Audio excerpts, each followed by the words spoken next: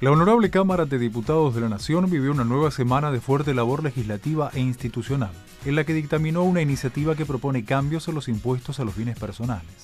Intensificó el trabajo en la Comisión Bicameral del Ara San Juan y fue sede del cierre del noveno Encuentro Nacional del Parlamento Juvenil del Mercosur, con la presencia de estudiantes secundarios de todo el país. Fuerte trabajo en la Bicameral del Ara San Juan tras el hallazgo del submarino. La Comisión Bicameral Investigadora sobre la Desaparición, Búsqueda y Operaciones de Rescate del Submarino Ara San Juan consensuó una serie de medidas que tienen por objeto intensificar su investigación.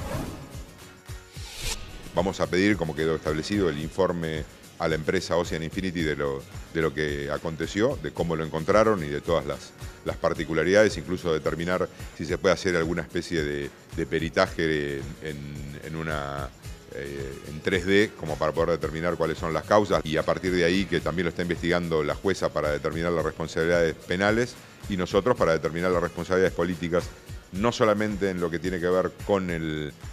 evento que tuvo el submarino, sino también lo que tiene que ver con la búsqueda y el rescate del mismo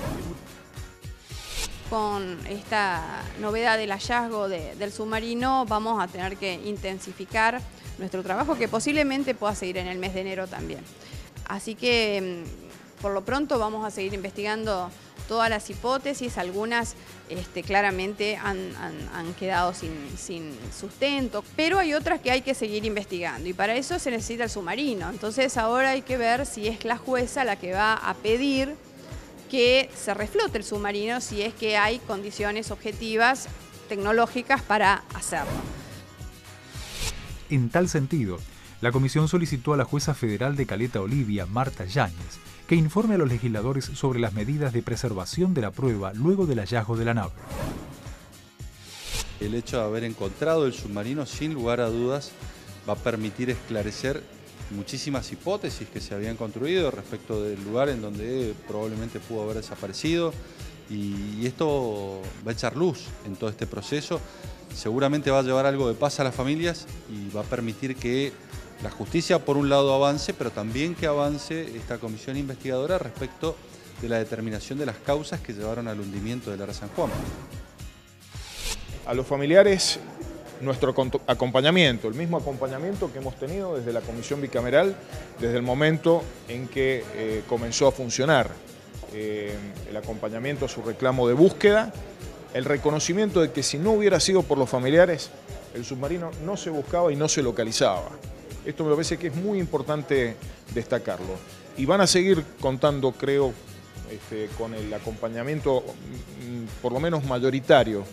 de los miembros de la Comisión Investigadora del Congreso,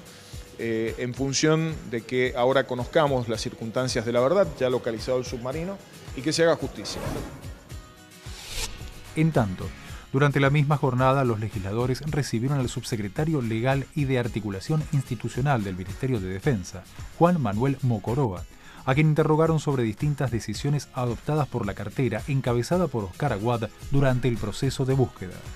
En la segunda parte de la reunión, los diputados y senadores integrantes de la bicameral realizaron una reunión reservada con el contraalmirante Luis López Maceo, ex jefe de la base naval de Puerto Belgrano. La Comisión de Presupuesto avaló cambios en bienes personales. La Comisión de Presupuesto y Hacienda de la Cámara de Diputados dictaminó el proyecto que modifica el impuesto a los bienes personales, luego de su paso con modificaciones por el Senado de la Nación. Un agregado es el de eliminar como bien grabable en el impuesto la casa habitación, en la medida que la evaluación fiscal no supere eh, la evaluación tomada como tal por el impuesto, que es la evaluación fiscal, no supere los 18 millones de pesos. Eh, va a quedar excluida. Y por otro lado también se excluye del gravamen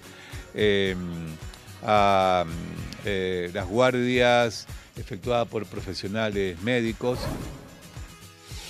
Durante la misma reunión de comisión, los diputados dieron su aval al proyecto de la llamada Ley Micaela, que propone crear el Programa Nacional Permanente de Capacitación Institucional de Género y Violencia contra las Mujeres.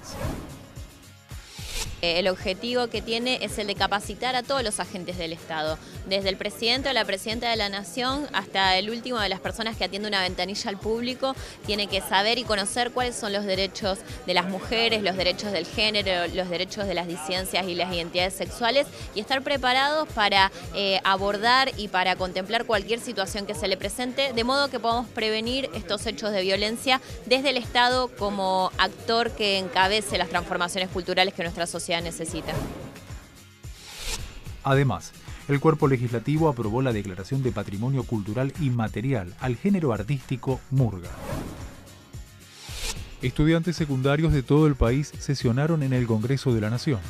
Estudiantes del nivel secundario de todas las provincias del país debatieron y elaboraron iniciativas en torno a la inclusión educativa, participación ciudadana, jóvenes y trabajo, integración regional, género y derechos humanos, en el cierre del noveno Encuentro Nacional del Parlamento Juvenil del Mercosur.